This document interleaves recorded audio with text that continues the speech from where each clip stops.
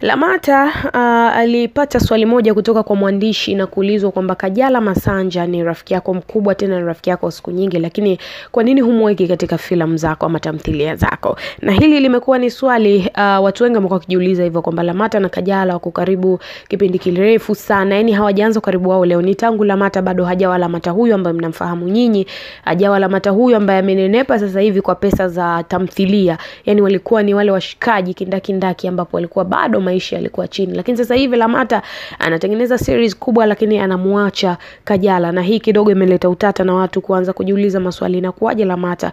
Na alipokuja kuulizwa mwenyewe, kitu alichokijibu tu ni kwamba Uh, Kajala hajapata nafasi ya kucheza katika Jua Kali. Yaani stori yake anavyoandika anajua kabisa inamtaka fulani na fulani ama mtu wa design hii. Kwa hiyo yeye anachokifanya huwa anatafuta watu wa namna ile na sio kutafuta rafiki ama mtu wake wa karibu. Kama ni watu wa karibu basi anaamini wako wengi sana ambao wangecheza, lakini story ya Jua Kali haimtaki Kajala kabisa. Kwa hiyo um, jibu hilo la Lamata naona kama lime, limesafisha koo, limesafisha jiji kidogo na kuona kwamba okay, kweli bwana, kwa mambo ya kitaalamu huenda ikawa Kajala uh, hana nafasi katika hii tamthilia ya Jua Kali, lakini pia tukumbuke uh, kapuni ya Lamata uh, Kajala aliweza kupata nafasi mule na kucheza. Kwa hiyo si kwamba kuna tatizo lolote baina ya Kajala na, na, na huyu mwanadada uh, Lamata, isipokuwa tu ni kwamba uh, ndo hivyo. Lakini pia uigizaji wa, wa Kajala, jamani, tuende turudi nyuma, tuseme tu ukweli, uigizaji wa Kajala performance yake iko kidogo chini, pengine ndio maana inasababisha uh, mambo kama haya kutokea, kutopatiwa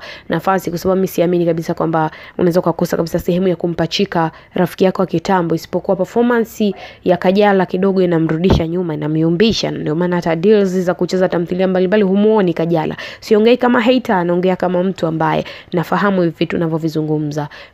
Hebu mm, drop comment yako pia, tuambie wewe maoni yako ni yapi juu ya hili. Kikubwa tu usiache kusubscribe ili tuweze kwenda sawa, lakini pia ni follow Instagram angel underscore underscore v. Till next time.